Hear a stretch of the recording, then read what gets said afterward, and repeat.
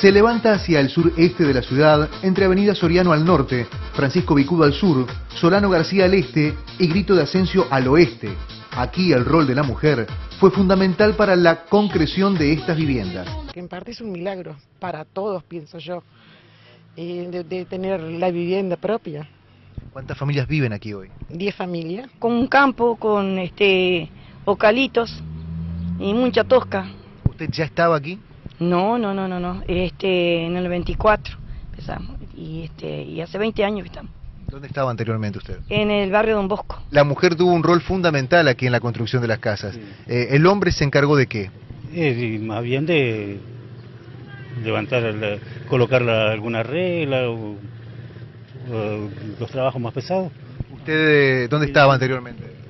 Trabajaba para afuera.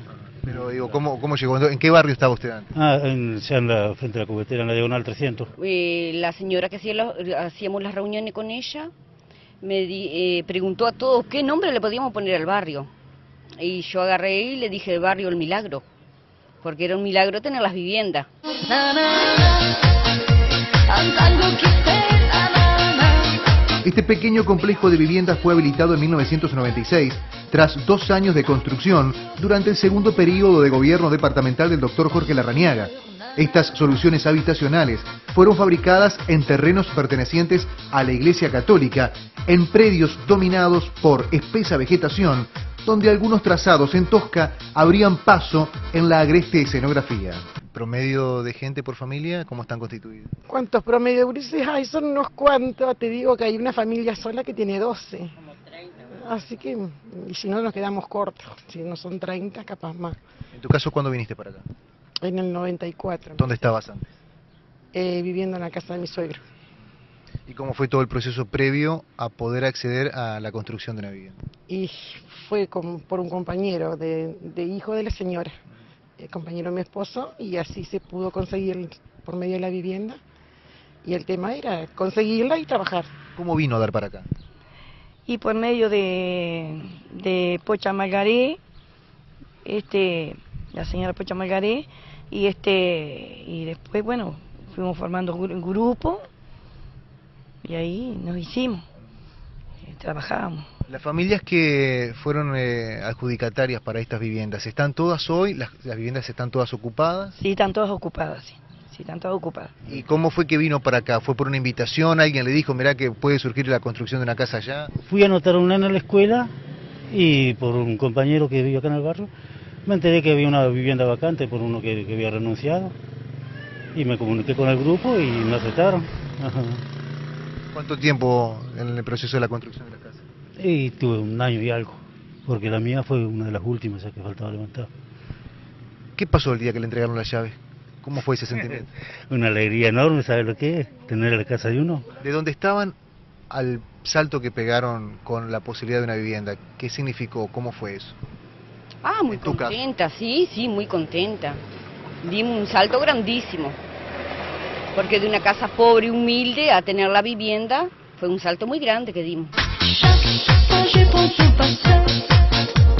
Fue Sandra Álvarez, una vecina, quien propuso llamar al lugar El Milagro, en referencia a todo el sacrificio que debió hacer este colectivo para lograr el techo propio y donde el papel de la mujer fue fundamental en el proceso de la obra.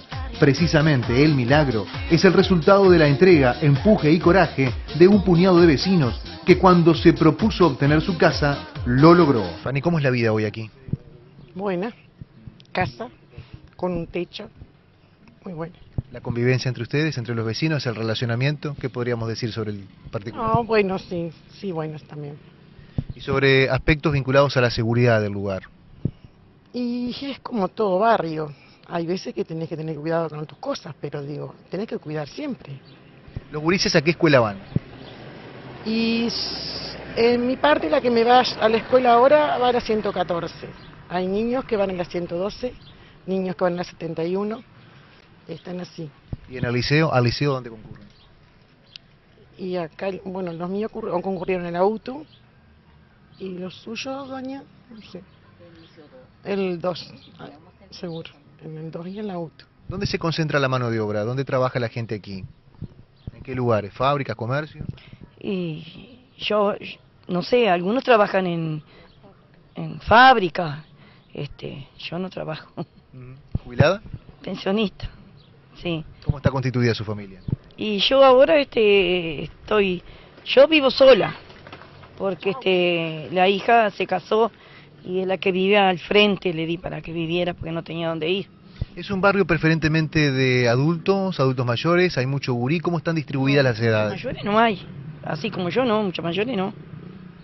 Hay, hay- yo creo que soy yo nomás la más mayor. Hay gurisa, hay bastante.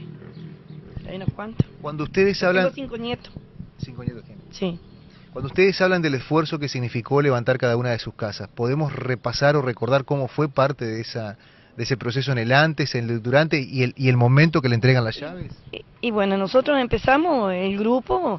Yo venía de- del, barrio Don Bosco con las herramientas al hombro, veníamos ah, por la vía, veníamos caminando para llegar acá para poder empezar con los cimientos.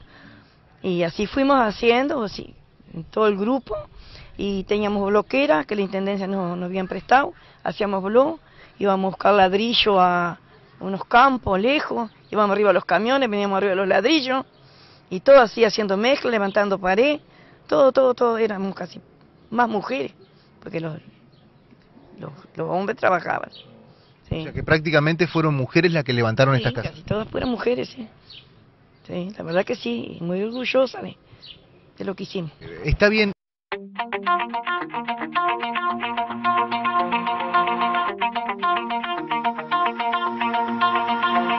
my heart out of my chest, train my mind so I forget. Sink your teeth into my bones, dig me out, then fill the hole. Tear me apart,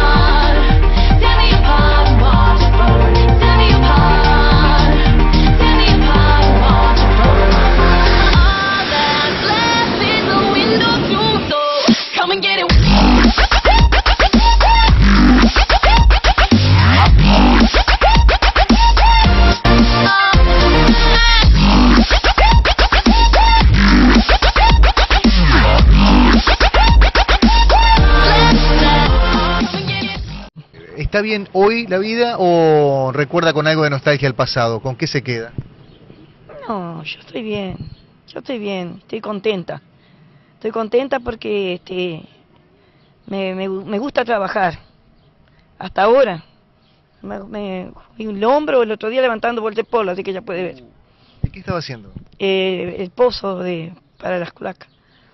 ¿Qué servicios cuentan a propósito de lo que usted está diciendo de las cloacas? Eh, eh, si citáramos el saneamiento, agua potable. Tenemos eh, que pedimos la maromética, pero ¿qué pasa? Ahora mi pozo se me hundió, entonces yo estoy tratando de hacer las, las cloacas. Me cuesta mucho sacrificio porque vale, vale plata. O sea, no tienen saneamiento aquí. No, nadie, nadie tiene. ¿Lo identifican con el nombre El Milagro? Sí, sí, ahora sí. ¿Por Sí. qué ahora sí? Y no sé, porque, no sé, yo fui un día a la intendencia y no sé, me preguntaron qué barrio era, yo digo, el barrio Milagro, dice, barrio Milagro, dice, Milagro que están vivos. Con respecto a los servicios, eh, ¿ustedes que creen que en algún momento puede llegar la obra de saneamiento? ¿Cómo, cómo es ese proceso hoy? Sí, por ahora, hasta que no salga por acá por casi tropa, no, porque el nivel no da, ¿vio? No da, no da con, el, con, la, con la red madre. ¿Han planteado esa necesidad? Al principio. ajá. ¿Cuándo es al principio? ¿Qué, qué- ¿En qué año? cuando- ¿Cuando hicieron la misma obra? Seguro, cuando se empezó la obra. ¿Y por qué no se pudo hacer? Porque no dan los niveles, Ah, los los, niveles no dan. Ajá. Hasta la mitad de cuadra más o menos da, pero las otras viviendas no. Ajá, Entonces para hacer para unas y para las otras no, se hizo todo igual, todo puso negro. ¿Y hoy está mejor acá que el pasado? Ah, sí, cómo no. Sí, sí, muy cómodo, la verdad que sí. ¿Qué faltaría? ¿Qué le faltaría al barrio? Saneamiento. Eh, bueno, en fin. Ten- ¿Eh? Sí, escritura de la casa que no tenemos. ¿Qué pasa con eso? Bueno, eso está el movimiento. Tenemos que, que ir pagando de a poco para poder tener los planos y lo- lo- los títulos y eso, ¿no?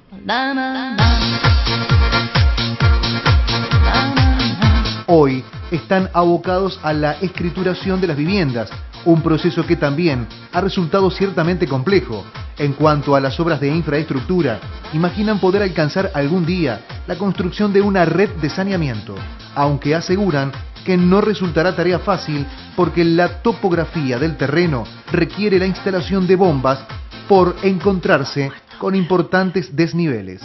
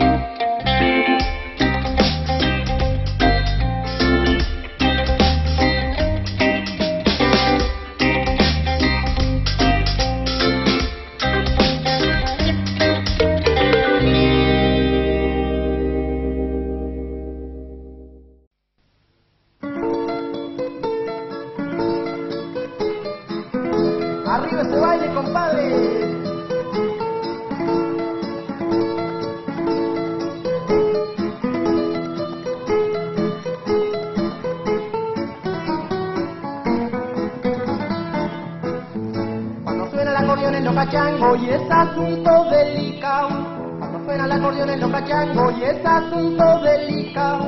Y la vida está con la boca cerrada y anda de ojo revoleado. Y la vida está con la boca cerrada y anda de ojo revoleado. Y anda de ojo revoleado. Y anda de ojo revoleado. Y anda de ojo revoleado. Y anda de ojo revoleado. Cuando venga Camunda sacando pecho no hay ambiente para entrar. Pecho no hay ambiente para entrar. Pero las mujeres caigan lío y se están por disparar. Luego las mujeres caigan lío y se están por disparar. Y se están por disparar. Y se están por disparar. Y se están por disparar. Y ya están por disparar. ¡Arriba ese baile! Baila que te baila la Juanita con los zapatos prestados. Esta baila que te baila la Juanita con los zapatos prestados. Que allá afuera en la portera dragoneando un milico atravesado. Que allá afuera en la portera dragoneando un milico atravesado. Atravesado, milico atravesado, un milico atravesado. Pero mire Cachafa como la lleva aquella de colorado. Pero mire Cachafa como la lleva aquella de colorado. Y la vieja no lo mira muy a gusto porque ella se apropasa. Y la vieja no lo mira muy a gusto porque ella se apropasa. Porque ya se ha propasado, porque ya se ha propasado, porque ya se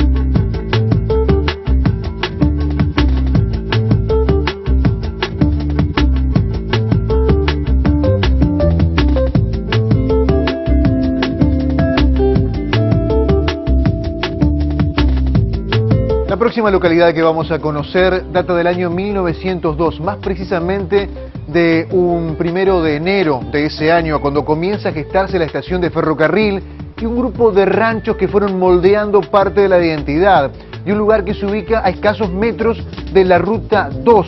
Se levanta precisamente en el kilómetro 241 de este trazado nacional que recorre parte del litoral oeste uruguayo. Alcanza la condición de pueblo un 9 de noviembre de 1953 y se levanta en la cuchilla Bizcocho. Debe su nombre al arroyo Las Palmas. Los invitamos a conocer Palmitas en el departamento de Soriano.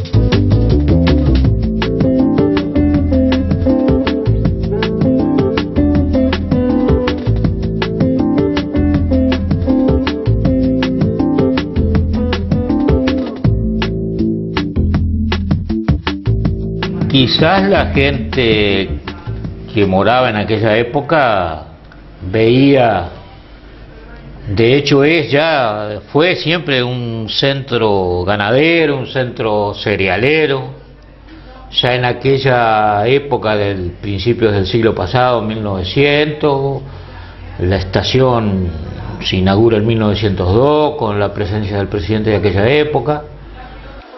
Quizás eh, el ferrocarril le dio ese impulso que después vino con con la OCE que data de allá de 1950, ponerle la Caja Popular que también, eh, que después fue Banco Valdense.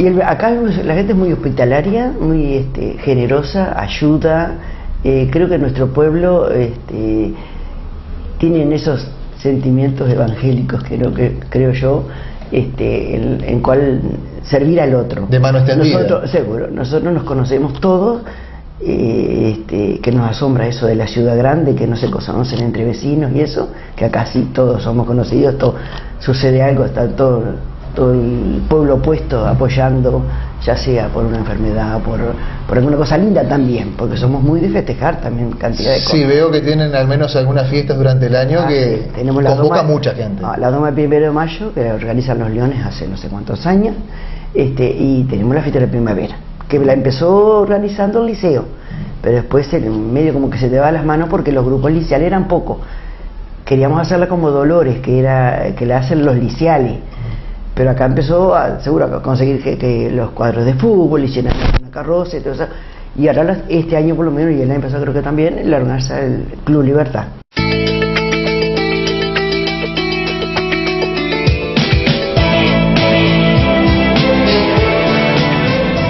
Ahora justo, yo casi como que termino de estudiar y bueno, me quedo acá, sale el trabajo este, este año, acá en el liceo, y voy a Mercedes para terminar de estudiar porque me quedan dos materias todavía.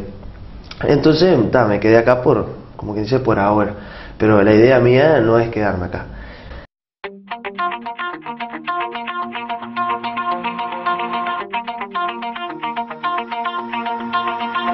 Pull my heart out of my chest, train my mind so I forget. Sink your teeth into my bones, dig me out, then fill the hole. Tear me apart,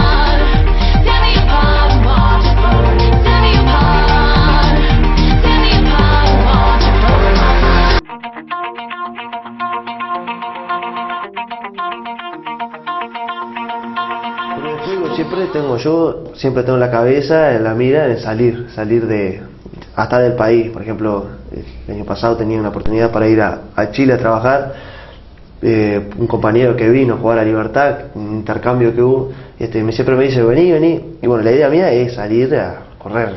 El mundo. A recorrer América en principio no mm. pero bueno hasta ahora no se va dando digo en un momento se dará digo yo.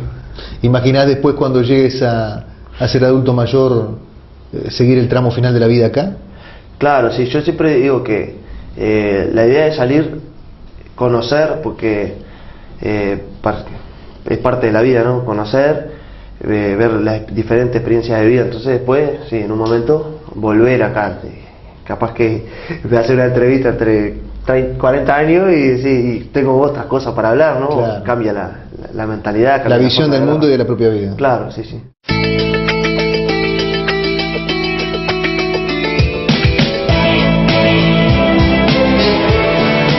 Patricia, cuando hablamos del Liceo de Palmitas, eh, ¿qué debemos de citar para comenzar a conocer este centro de estudio? Eh, ¿Cuál es el alcance que tiene desde el punto de vista social?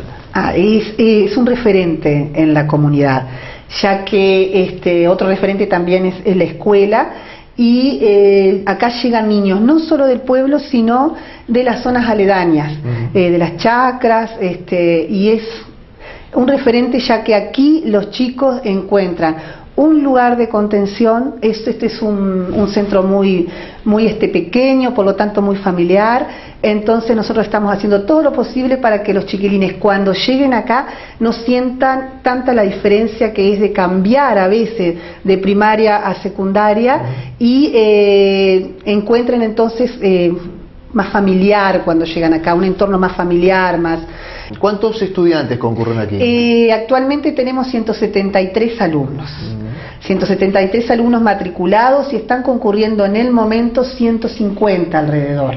Los demás lamentablemente han dejado por eh, problemas principalmente de trabajo, salen a trabajar con los papás, sobre todo ahora en la zafra del grano, este, salen a trabajar con los padres. Entonces, este, hemos optado sí a esos chiquilines para no dejarlos fuera del sistema, trabajar con este, estudios libres.